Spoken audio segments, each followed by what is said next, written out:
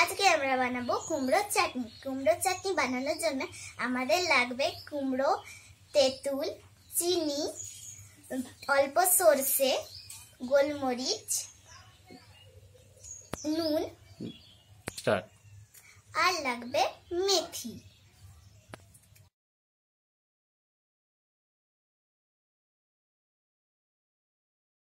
প্রথমে কড়াই সাদা তেল দিলাম।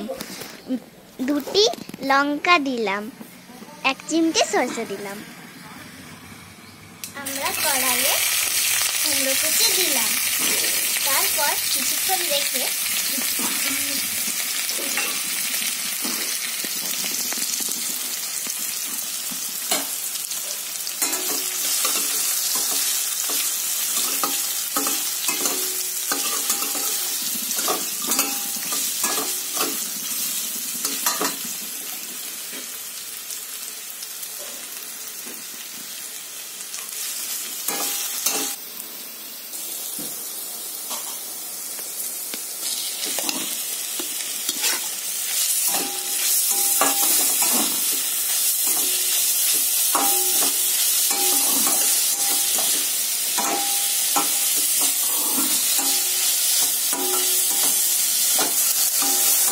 তারপর এক কাপ জল দিলাম।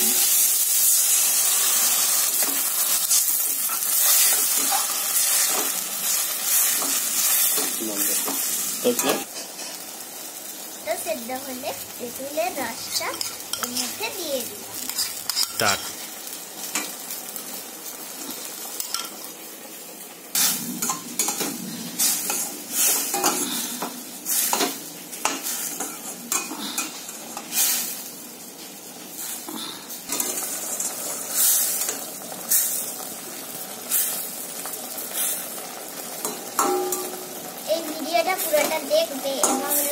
সাবস্ক্রাইব এবং শেয়ার করবে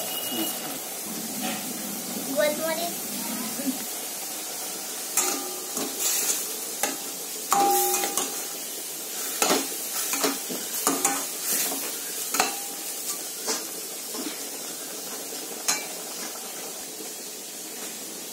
স্বাদ মতো নুন এবং স্বাদ মতো হলুদ দিলাম। তেঁতুলের রসটা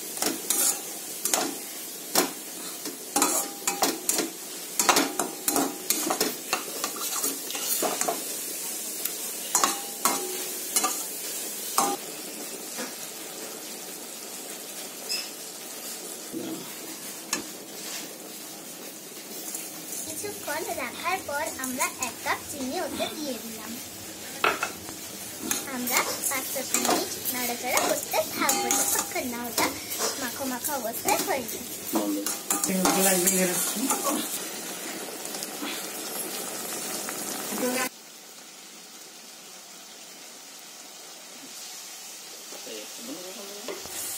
রান্না প্রায় হয়ে গেলে এর মধ্যে মেথি ও গোলমরিচের গুঁড়ো দিয়ে দিতে হবে।